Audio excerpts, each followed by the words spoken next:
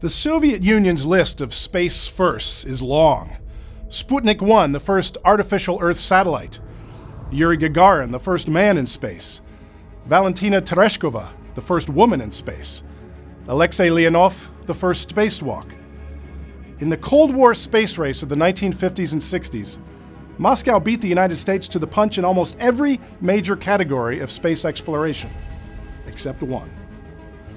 As the world marks the 50th anniversary of Apollo 11 and Neil Armstrong's small step, let's take a look back at the Soviet Union's efforts to land a man on the moon and what went wrong. In May 1961, in a speech before Congress, President John F. Kennedy set out a goal for the United States to land a man on the moon before the decade was out and to return him safely to Earth.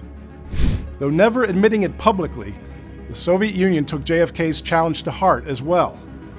In fact, the Soviet Union had already beaten the United States to the moon, if only with its series of Luna probes. Luna 1 performed the first flyby of the moon in January 1959. In September 1959, Luna 2 became the first man made object to reach the moon when it crash landed purposely in the Sea of Serenity. Luna 3 took the first photos of the dark side of the moon in October 1959.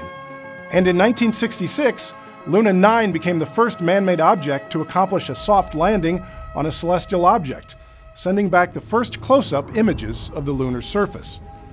But sending a probe was one thing. Building a rocket with enough thrust to send both men and a heavy lunar lander all the way to the moon was quite another. And that's where the troubles began for the Soviet Union. But first, let's take a peek at the Soviet lunar craft itself. It's pretty cool. The design was similar to the American model a command module to orbit the moon, and a separate lander to make the journey to the surface. In the Soviet design, only two passengers would make the journey, one man remaining in orbit while the other landed on the moon. Interestingly, the command module had no internal hatch connecting it to the lunar lander. The cosmonaut chosen to land on the moon would have had to have made a spacewalk just to get inside the lunar lander and then reverse the process while presumably carrying a big bag of moon rocks on the return journey. Tijolo. Like the United States Apollo program, which lost three astronauts in a terrible launch pad fire during training for Apollo 1 in 1967, the Soviet space program was also not without its fatalities. Soyuz 1 launched in April 1967 for its first manned test flight.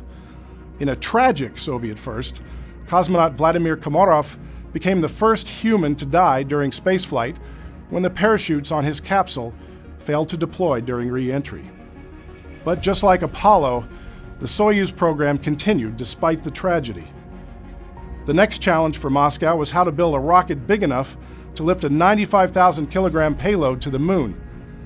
The Soviets settled on the N 1 rocket at 105 meters, almost as tall as the American Saturn V but with a radically different propulsion system. Instead of the five massive engines on the Saturn V, the N1 used 30 smaller but more efficient engines. There was just one problem a complicated plumbing system that made getting fuel to those 30 engines so they could fire in sync rather, well, difficult.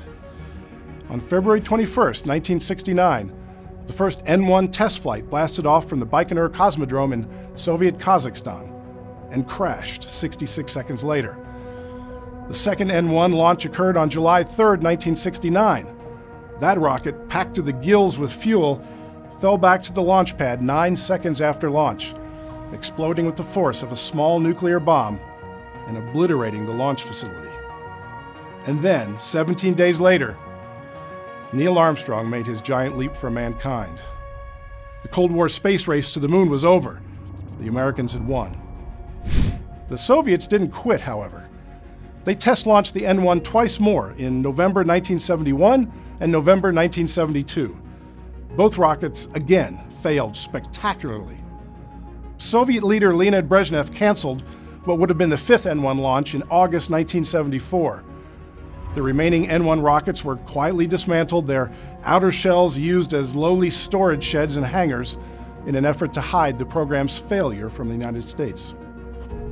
It wasn't until the Glasnost era, under Mikhail Gorbachev, that the final truths about the N 1 program came to light. And in a final crazy twist, a secret stash of the N-1's NK-33 engines were later discovered in a Russian warehouse. By the time the N1 program was abandoned, the flaws in that engine had been fixed, and the engines were sold to an American company for more than $1 million each. Their unique design helped launch American rockets into the skies.